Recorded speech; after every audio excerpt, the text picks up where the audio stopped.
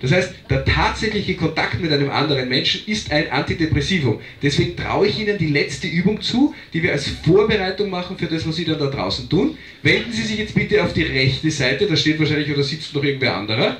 Machen Sie einmal so und Sie finden dort dann einen Hals. Sie machen jetzt mit. Nein, Sie wenden sich einander zu. Ich mache das jetzt bewusst mit einem Mann. Schauen Sie mir zu, ich zeige Ihnen, wie das geht. Da steht ein Mann, ja? Und dann eine Hand unten, eine oben und dann sagen sie, schönen Tag. Gratuliere, das wird ein erfolgreicher Mensch. Mach einmal, schmusen, los, los, trau dich. Es ist gesund. Gut, okay, bravo.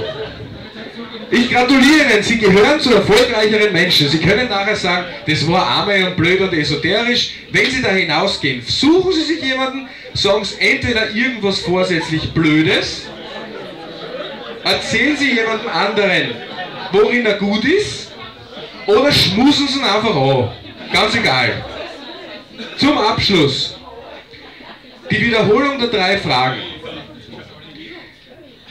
Einfache Zusammenfassung Anti-Burnout. Überleg dir, wenn du dir denkst, ich bin irgendwie gefährdet, dir die Frage zu stellen, habe ich grundsätzlich Freude oder Spaß bei dem, was ich tue?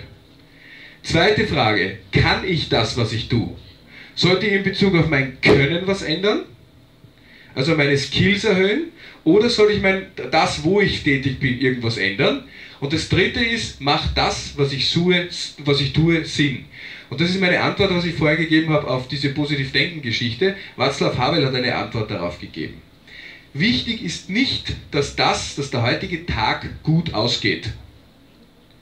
Wichtig war wahrscheinlich heute am Abend, dass dieser Tag in irgendeiner Art und Weise Sinn gemacht hat, egal wie er ausgeht.